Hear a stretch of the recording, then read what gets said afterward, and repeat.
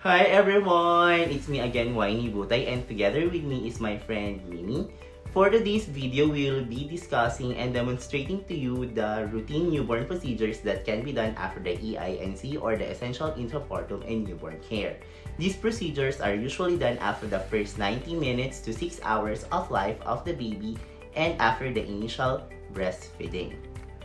This procedure includes, first, the application or administration of our erythromycin on the eyes of the baby, then after which the first physical examination and weighing of the baby, then after which the application and administration of our BCG, Hep B vaccine, and vitamin K, and lastly, our cord care.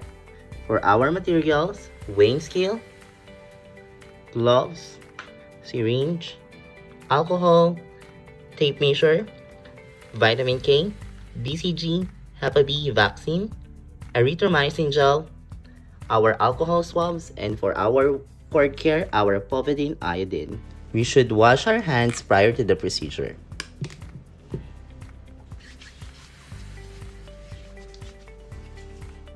Then wear our gloves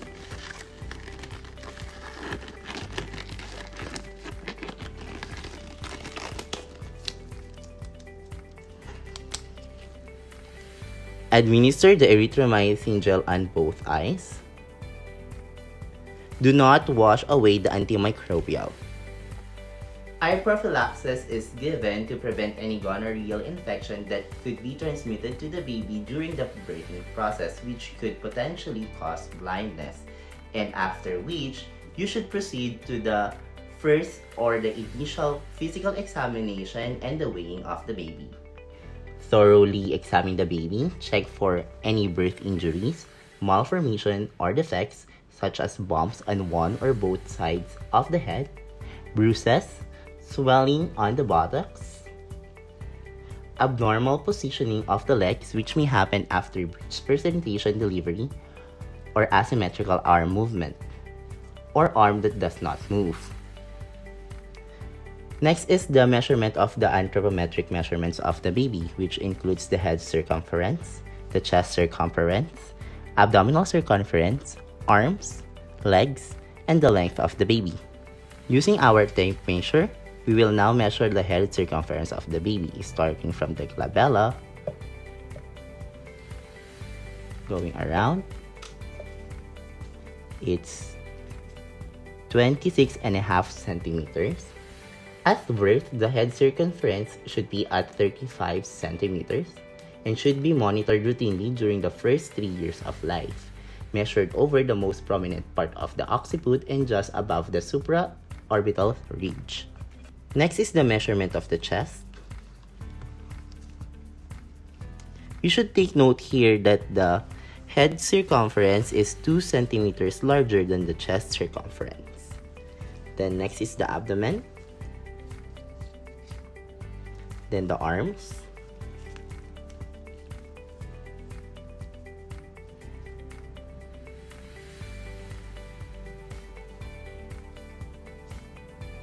The legs.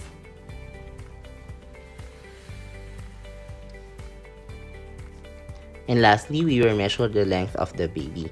Assuming that we have an infantometer the steady part is at the head part and the movable part is the foot part and we should be measuring it and the usual height or the normal height for newborns or is 50 centimeters.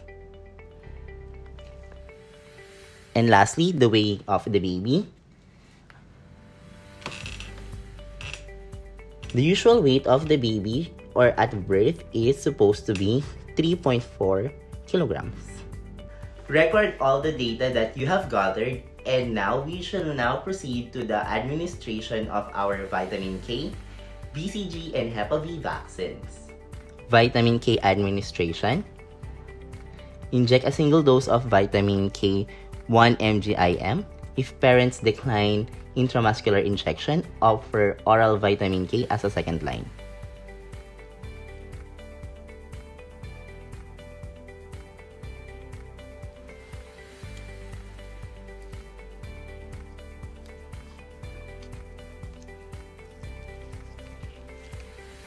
Next is the administration of Hepa B vaccine. Inject hepatitis B vaccine intramuscularly.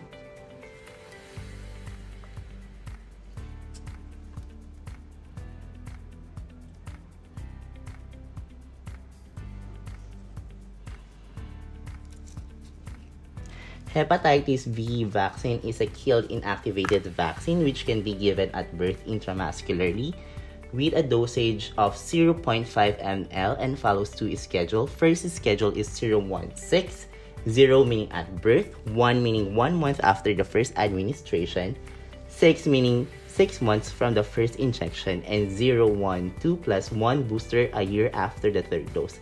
Adverse reactions include pain in the injection site, fever, and allergic reactions.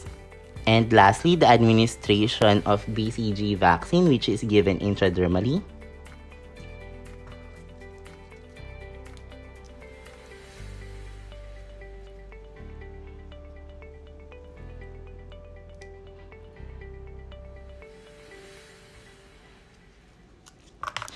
BCG vaccine is a live attenuated vaccine and it is therefore given as a single dose, ideally administered the right deltoid intradermally if given at birth for uniformity. It is recommended to prevent extrapulmonary TB. The dose is 0.05 ml for children less than 12 years of age. Adverse reaction includes WIPOS, which includes wheal formation, induration, postular appearance, ulceration, and scar. Record all the data and the vaccines that were given. Once done, we should help the mother initiate breastfeeding. If not successful, we should teach her other alternative methods that can be done. And lastly, cord care. Wash hands again and put another set of gloves.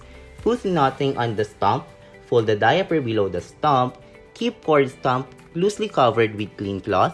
If the stump is soiled, wash it again with clean water and soap. Dry thoroughly with clean cloth. Explain to the mother that she should seek care if umbilicus is red or draining with pus. Teach the mother to treat local umbilical infection three times a day. Wash hands with clean water and soap. Gently wash off pus and crust with boiled and cooled water and soap. Dry the area with clean cloth paint with gentian violet. Wash hands. If pus or redness worsen or does not improve in 2 days, refer urgently to the hospital. After the cord care, we should take note of the following. First, do not apply any bandage on the abdomen or the stump. Next is to do not apply any substance or medicine on the stump. And lastly, to do not or avoid unnecessary touching of the stump. And there you have it, the routine newborn procedures that can be done after the EINC or the essential intrapartum care, which include the administration or the application of our topical erythromycin gel, the first physical examination and weighing of the baby, then the administration of our BCG, Hep B vaccines, and vitamin K, and lastly, cord care. Thank you for watching the video. See you again next week. Bye!